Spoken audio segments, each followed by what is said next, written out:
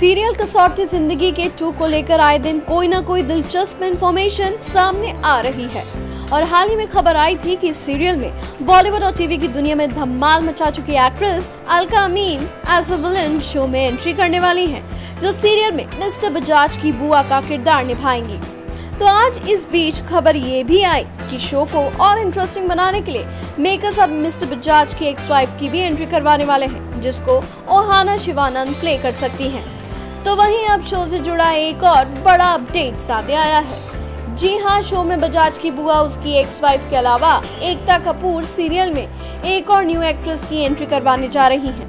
तो आखिर कौन है ये एक्ट्रेस और इस शो के अंदर किस किरदार में नज़र आएगी? आइए आपको बताते हैं। दरअसल शो में अब जिस एक नई एक्ट्रेस की धमाकेदार एंट्री होने वाली है, वो है सीरियल नज़र में महत्वपूर्ण भूमिका अदा कर चुकी सोनिया अयोध्या। जी हाँ बॉलीवुड लाइव की एक रिपोर्ट के मुताबिक सोनिया इस सीरियल में मिस्टर बजाज के खास दोस्त की भूमिका में नज़र आएँगी। सोनिया का किरदार इस सीरियल में काफ़ी बबली सा होगा और वो मिस्टर बजाज की आंटी की दुलारी होंगी। और मिस्टर बजाज की आंटी सोनिया के किरदार को अपनी बेटी की तरह ट्रीट करेंगी। और वाकई में शो में इतने किरदारों को एंट्री करवा के, शो के मेकर्स बहुत बड़ा धमाका करने की तैयारी में है। तभी तो बजाज की बुआ, उसकी एक्स फाइव के बाद अब बजाज की खास दोस्त के तौर पर सोनिया की एंट्री हो रही है। कल शो में इतने कैरेक्टर्स की नई एंट्री से कहानी क्या मोड़ लेती है? और साथ ही इन कैरेक्टर्स के आने से शो की टीआरपी में कितना उछाल आएगा, ये देखना काफ़ी इंटरेस्टिंग होगा।